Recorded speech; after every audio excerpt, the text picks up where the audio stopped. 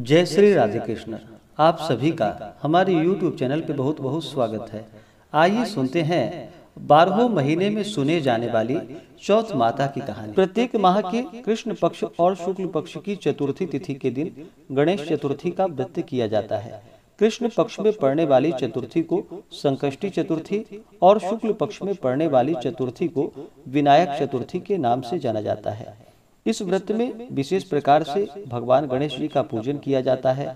साथ में चौथ माता माता दुर्गा का पूजन किया जाता है और फिर चंद्रोदय होने पर चंद्र देवता को अर्घ्य प्रदान करके इस व्रत को पूर्ण माना जाता है। इस दिन पूरे विधि विधान के साथ भगवान गणेश जी का पूजन करना चाहिए।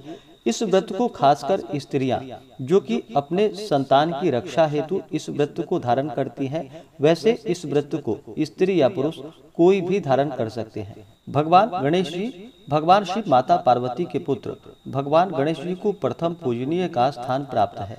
किसी भी प्रकार के शुभ कार्यों में या मांगलिक कार्यों में भगवान गणेश जी का सबसे पहले पूजन किया जाता है और जो भी भगवान गणेश जी का पूजन करते हैं, इससे भगवान गणेश जी उनके सभी प्रकार के विघ्न और बाधाओं को दूर कर देते हैं तथा सुख और समृद्धि का आशीर्वाद प्रदान करते हैं। इस बार भाद्रपद मास कृष्ण पक्ष संकष्टी चतुर्थी तिथि प्रारंभ समय, जो कि 2 सितंबर 2023 दिन, शनिवार रात्रि आठ बजकर पचास मिनट और चतुर्थी तिथि की समाप्ति होगी, जो कि 3 सितंबर 2023 दिन, रविवार को शाम छह बजकर पच्चीस मिनट पे। तो जो भी व्रत को धारण करने वाले हैं, वो सभी शुद्ध रूप से 3 सितंबर 2023 दिन, रविवार को सभी व्रत को धारण करेंगे और इस दिन जो चंद्रोदय का समय होगा, चंद्र दर्शन का समय होगा, वह समय रात्रि आठ बजकर पचास मिनट, जो कि तीन सितंबर को चंद्रोदय का समय है। तो इस समय में अगर बादल के चलते चंद्रमा दिखाई नहीं पड़ते हैं तो चंद्रोदय का जो समय बतलाया गया है, इसके बाद आप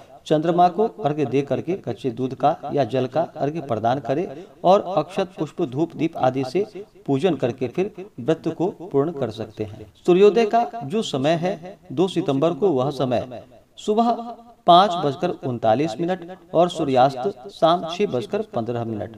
राहु काल का जो समय होगा, वह समय शाम चार बजकर इकतालीस मिनट से लेकर के शाम छह बजकर पंद्रह मिनट तक राहु काल का समय होगा।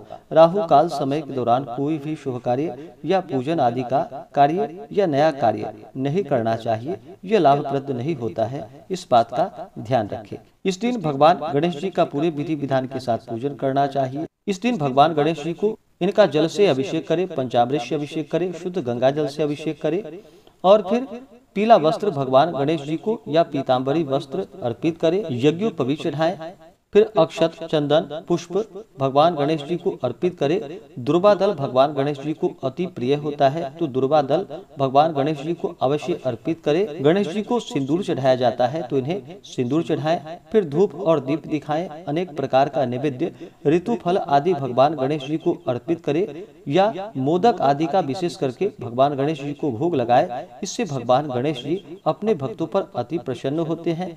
नैवेद्य का भोग लगाने के बाद जल से आचमनी करवाएँ। मुख शुद्धि के लिए पान पत्र सुपारी, लोंग इलायची के साथ में अर्पित करें, द्रव्य दक्षिणा चढ़ाएँ और फिर संकष्टी चतुर्थी व्रत का कथा श्रवण करें। भगवान गणेश जी की आरती करें और फिर चंद्रोदय होने पर चंद्र देवता को अर्घ प्रदान करके व्रत को पूर्ण कर सकते हैं। तो आइए सुनते हैं चौथ माता की कहानी। तो बोलिए प्रेम से चौथ माता की जय। भगवान गणेश की जय। सर्वदेवी देवता की जय। कथा के अनुसार, एक नगर में एक बूढ़ी माँ रहती थी। वह अपने बेटे की सलामती के लिए बारह महीनों की चौथ का व्रत करती थी।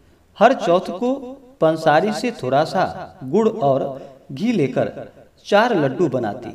एक बेटे को दे देती, एक से पूजा करती, एक हथकार के लिए निकालती और एक चाँद उगने पर खुद खा लेती थी। एक बार उसका बेटा ताई से मिलने गया। ताई ने चौथ का व्रत रखा था। ताई से पूछा, माँ तो बारह चौथ करती है। ताई बोली, तेरी माँ तेरी कमाई से तरमाल खाने के लिए बारह चौथ करती है। तू परदेश जाए तो वह एक भी चौथ नहीं करेगी। लड़की को लगा, ताई सच कह रही है। घर आकर माँ से कहा कि माँ मैं प्रदेश जा रहा हूँ। यहाँ तू मेरी कमाई खाने पीने में ही उड़ा देती है। माँ ने समझाकर रोकना चाहा, पर बेटा नहीं माना। माँ ने उसे साथ ले जाने के लिए चौथ माता के आँखें दिए और कहा मुसीबत में ये आँखें तेरी मदद करेंगे। वह आँखें लेकर वहाँ से रवाना हो गया। घूमते हुए एक नगर में जा पहुँचा। उसने देखा एक बूढ़ी माँ रोती जा रही थी और पुआ बनाते जा रही थी। उससे कारण पूछा तो बूढ़ी माँ ने कहा कि बेटा, इस नगर की पहाड़ी पर एक दैत्य रहता है। पहले वह नगर में आकर कई लोगों को खाने के लिए मार देता था। अब राजा हर घर से एक आदमी दैत्य के पास भेजता है और आज मेरे बेटी की बारी है, इसलिए मैं रो रही हूँ। और उसी के लिए पुए बना रही हूँ। वह बोला, तू पुए मुझे खिला दे। तेरे बेटी की जगह मैं चला जाता हूँ। बूढ़ी माँ ने खीर पुए उसे खिला दिए। खा पीकर वह सो गया। रात को राजा के सैनिक आए तो बूढ़ी माँ ने उसे भेज दिया। दैत्य के सामने पहुँचने पर उसने चौथ माता की आँखें दैत्य की तरफ़ फेंक कर कहा कि, हे चौथ माता यदि मेरी माँ मेरी सलामती के लिए व्रत करती है तो दैत्य का सिर कटकर गिर जाए। तुरंत दैत्य का सिर कट गया। लड़का वापस आ गया। राजा उसे उपहार देकर वहाँ से विदा किया। चलते हुए एक दूसरे राजा के नगर में वह जा पहुँचा। इस राज्य में आवा तभी पकता था, जब एक इंसान की बलि दी जाती थी। सिपाहियों ने उसे पकड़ लिया और आवे में चुन दिया। लड़के ने आँखें आबे में डाले और कहा कि, हे चौथ माता, यदि मेरी माँ मेरे लिए व्रत करती है तो आबा मेरी बलि के बिना ही झट से पक जाए। आबा तुरंत पक गया। आबे में से मिट्टी की जगह सोने चांदी के बर्तन निकले।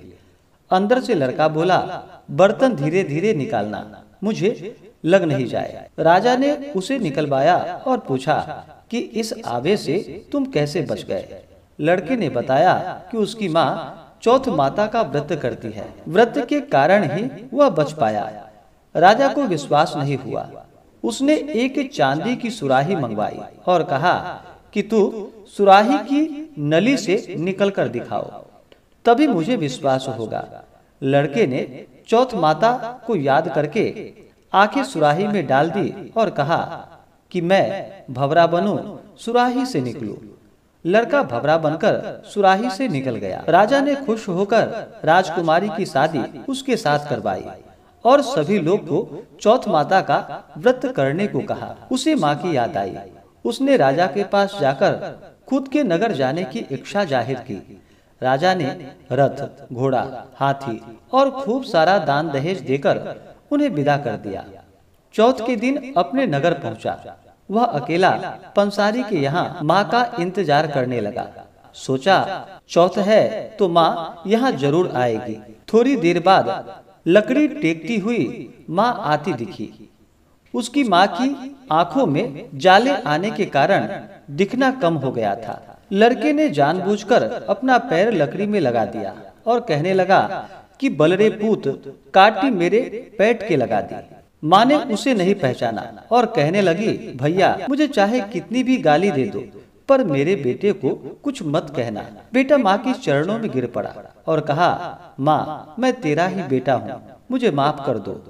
माँ ने उसे गले से लगा लिया। नगर के लोग ने विश्वास नहीं किया कि वह उसी का बेटा है। बूढ़ी माँ ने चौथ माता को याद करके कहा कि, हे चौथ माता यदि मैं अपने बेटे के लिए व्रत करती हूँ तो मेरे स्तन में दूध भर जाए और उसकी धार मेरे बेटे के मुँह में गिरे। माँ के स्तन से दूध की धार निकलकर बेटे के मुँह में गिरने लगी। लोग। चौथ माता की जय जयकार करने लगे। उस नगर के सभी लोग चौथ माता का व्रत करने लगे। हे चौथ माता जैसे बूढ़ी माँ और उसकी बेटी की सहायता की वैसे हमारी भी करना कहानी कहने सुनने और हुंकारा भरने वाले पर अपनी कृपा बनाए रखना। तो बोलिए प्रेम से चौथ माता की जय, भगवान गणेश की जय सर्वदेवी देवता की जय। इसी प्रकार से जो भी भक्त सच्ची श्रद्धा के साथ, नियम और निष्ठा के साथ प्रत्येक मास की चौथ का व्रत धारण करते हैं इस दिन भगवान गणेश जी का पूजन करते हैं, चौथ माता का पूजन करते हैं और फिर चंद्र देवता को अर्घ प्रदान करते हैं। इससे भगवान गणेश और चौथ माता प्रसन्न हो करके अपने भक्तों के सभी प्रकार के दुख और कष्ट को दूर कर देती है तथा सुख और समृद्धि का आशीर्वाद प्राप्त होता है। तो आशा करता हूँ यह जानकारी आपको अच्छा लगा हो। ऐसे ही ज्ञान वर्धक जानकारियाँ प्राप्त करने के लिए हमारे इस चैनल पे अगर आप नए हैं तो चैनल को लाल बटन दबा करके सब्सक्राइब करें, साथ में बेल आइकन घंटी को दबाएँ, ताकि मेरे वीडियो का नोटिफिकेशन आपको समय से मिलता रहे। वीडियो को लाइक करें, शेयर करें, सुखी रहें और स्वस्थ रहें। जय श्री राधे कृष्ण धन्यवाद।